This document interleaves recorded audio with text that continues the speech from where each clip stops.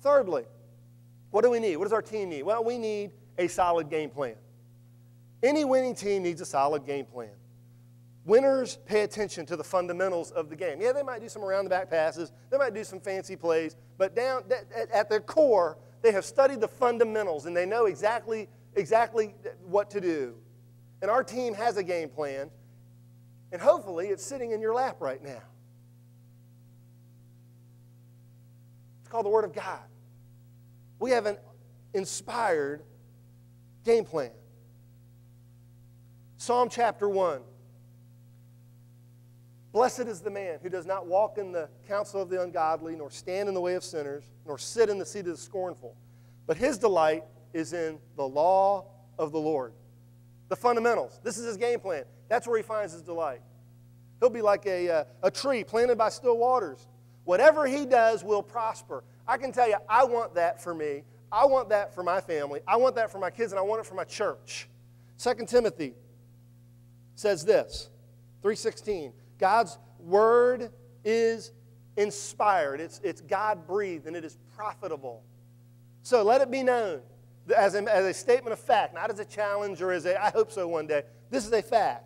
God's word is our game plan at Kingsland. That's a fact. God's word is our game plan. Not pop culture, not the newest fad, not the newest guru who has all the cool ideas on what to do next not the newest church growth book, and I guess conversely, not the traditions of the past. God's Word is our game plan. When we take the Word of God seriously as individuals and as a church, victory will be the result. And the application is very direct. We need to spend a whole lot more time in God's Word. We need to acquaint ourselves with the game plan and practice it and put it into effect. And someone's going to say, Well, I don't understand it all. Well, and, and, and, on one hand, it's so simple that a fourth grader can understand it. On the other hand, it is so complex that a PhD could never completely understand it all. I like what Mark Twain said. It's not the parts of Scripture that I don't understand that I'm worried about, it's the parts that I do understand that trouble me. Isn't that true? I think it was David Jeremiah, or maybe Adrian Rogers, who said, Don't expect for God to help, help you understand more until you've obeyed what you already do understand. Act on what you know to be true before you start seeking for deep revelation down the road. We need to embrace God's game plan. Number four, what does a great team need? It needs strong leadership. I'm talking about from within the team. Any great team has leaders, athletes, individuals who are um, strong leaders. A successful church team needs men and women, young and not so young, who will step out and stand up and lead by listening to the coach, by putting the game plan into action and living a disciplined life. Go over to 1 Timothy chapter 4 because we see something kind of neat over here. If you go to 1 Timothy 4, you can see to, to, to the young, the Timothys. 1 Timothy 4.12, let no one despise your youth. Don't let anybody look down on you because you're young, but be an example to the believers in word and conduct and love and spirit and faith and purity. Be an example. If you're a young leader, be a holy, chaste, pure young leader. You're never too young to lead. How about our older leaders? Well, just look a few verses down to chapter 5. Do not rebuke an older man, but exhort him as a father, younger men as brothers, older women as mothers, younger women as sisters, with all purity. Leadership. Look, keep going. What about pastors?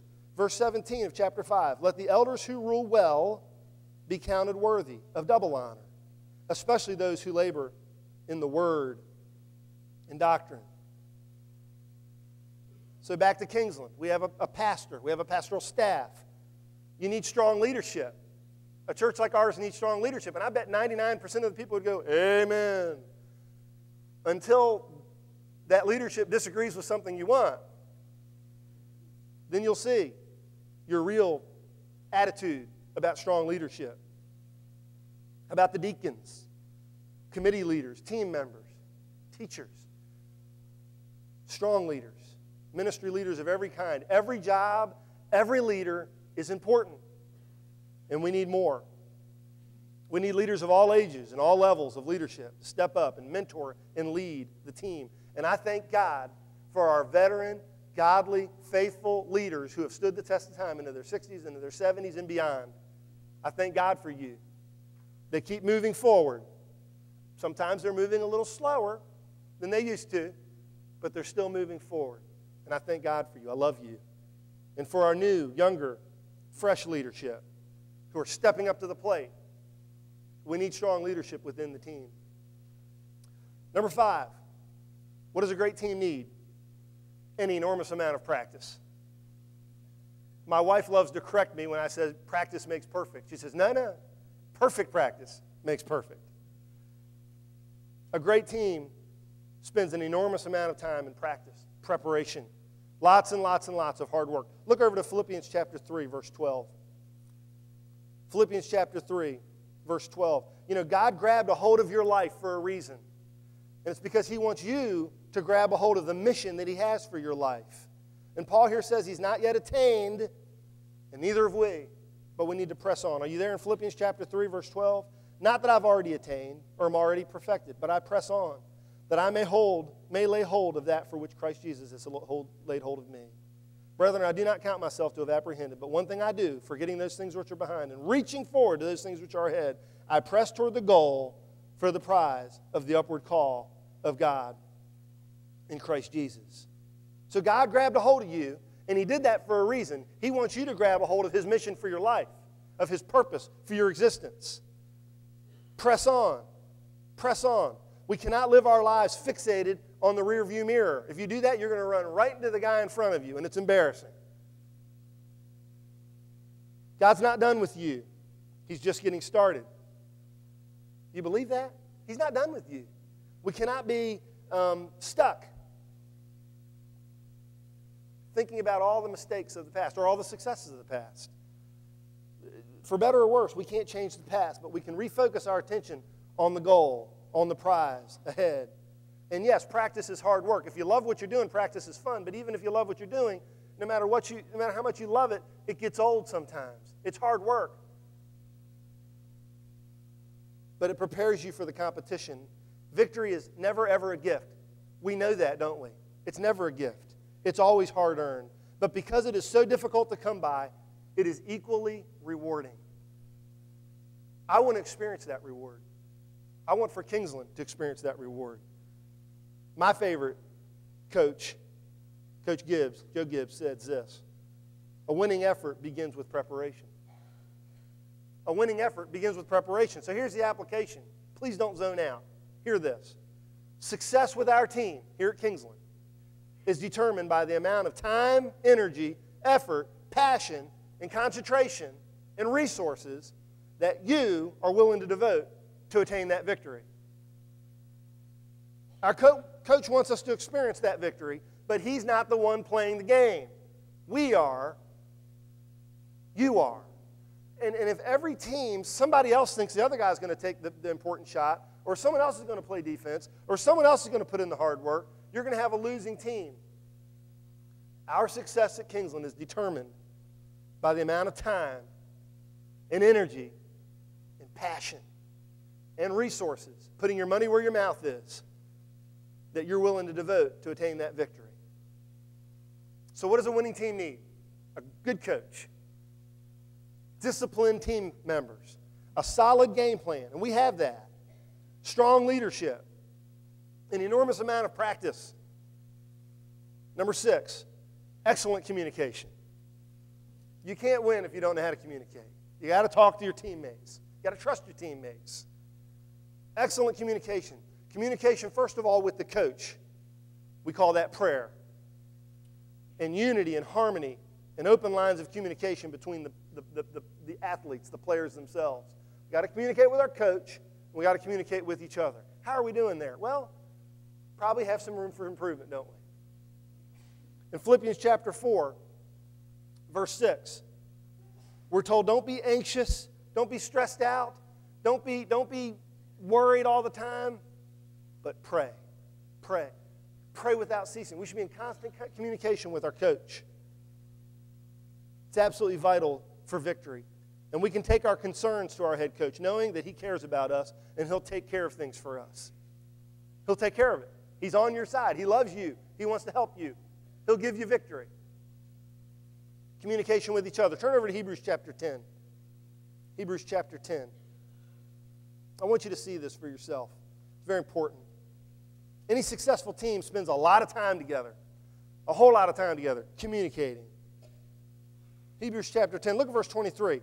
Let us hold fast the confession of our hope without wavering, for he who promised is faithful. Don't waver, don't quit, don't throw in the towel. Our coach is faithful. He's not going to let you down. Don't let him down. Verse 24. And let us consider one another in order to stir up love and good works. Now, that's what we should be doing. When we get together, whether it's at home, in our homes tonight, or hanging out on Friday night, or going out to lunch after church, or whatever, encourage one another. Stir each other up to good works. Confront when necessary lovingly. Do that. Stir each other up for good works. Verse 25. Not forsaking the assembling of ourselves together, as the manner of some is, but exhorting one another, and so much more the more as you see the day approaching. What day? The day of Christ's return. He said, I will come again and receive you unto myself.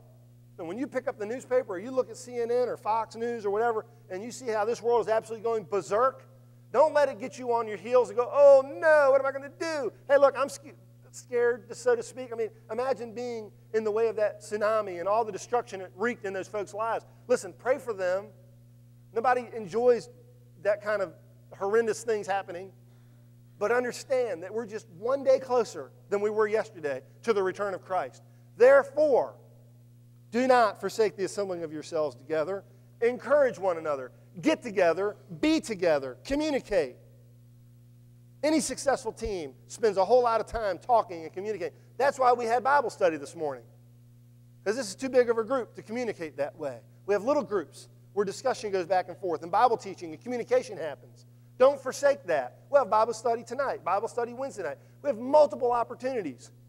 The ladies' new Bible study is starting Wednesday night. Get plugged in, take advantage of it. It'll help you.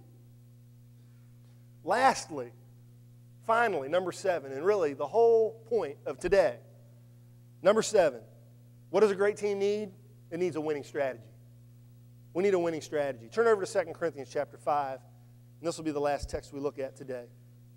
2 Corinthians chapter 5 tells us that the love of God compels us.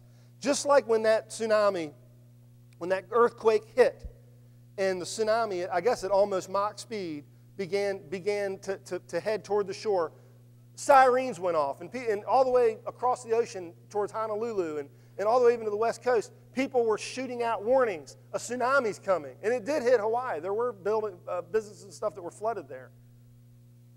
And, and either a tsunami um, warning went off, I know it did in Japan, or somebody on the news, or even if, it went, even if, if necessary, they would go door to door to door saying, Destruction is coming because they were concerned about the people that lived there. They were concerned about their lives. 1 Corinthians 5:14 tells us it's the love of Christ that compels us.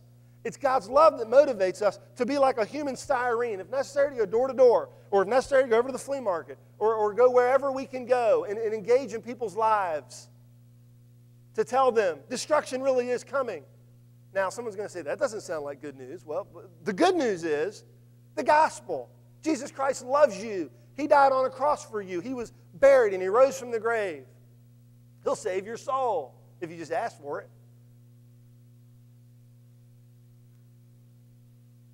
Look at, look at this text. For the love of Christ compels us because we judge thus. If one died for all, then all died. And if he died for all, that those who live should live no longer to themselves, but live for him who died for them and rose again. In other words, you were dead until Jesus Christ came into your life and he gave you life but that life that He gave you, really what He wants you to do is just lay it down again, to die for Him, just like He died for us. To die to our needs, our wants, our wishes, our preferences, our having everything the way we want it, to inconvenience ourselves for those that are lost and that are dying and need spiritual life. Look down at verse 18. Now, all, the, all these things, all things are of God, who has reconciled us to himself through Jesus Christ and has given us the ministry of reconciliation. You have been put on God's great big team, and you've been given the job, the ministry.